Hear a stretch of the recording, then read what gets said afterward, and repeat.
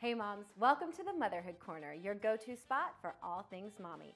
You've seen him on the Food Network, on OWN, and on AOL on his show Kitchen Daily 101. Please welcome celebrity chef Stuart O'Keeffe. Thanks so much for being here. Of course, of course. I All need right, to help so you out. it's warming up outside, and everybody wants to grill a nice juicy steak. All right. What's your go-to? Okay, I got the answer for you. So I got a marinade. This is my go-to marinade. Do not forget these four ingredients, okay? Promise me? I promise. All right. So we got balsamic vinegar, Okay. some uh, some port, Uh-huh. ruby red port, and some soy sauce and chili flakes. So we got a bit of heat in the chili flakes. We have saltiness in the soy sauce. We got a tartness in the balsamic vinegar and a sweetness in the ruby. And all of them together like caramelizes the steak. So it's three ingredients, like a half a cup each or a cup each, equal quantities. Add our chili flakes right in here. Mm-hmm. Okay.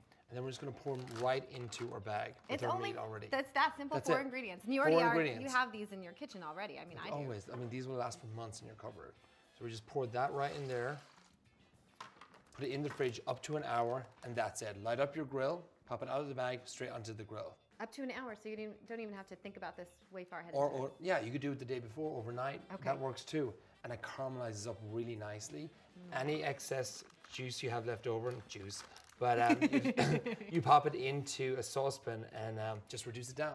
And it becomes a glaze then. And it, you just put that over your meat at the end. It's that's really, very really nice. fancy. Yeah, I know, you give it fancy. I'm giving you some fancy tips in here. I love it. If you want to be a hit at your next barbecue, you got to use Chef Stuart O'Keeffe's tips.